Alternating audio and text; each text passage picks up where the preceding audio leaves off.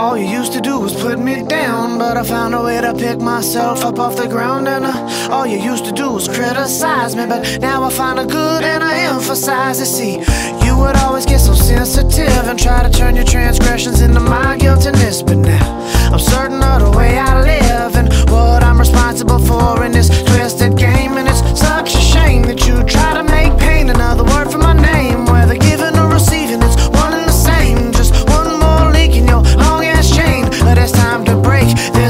my strength.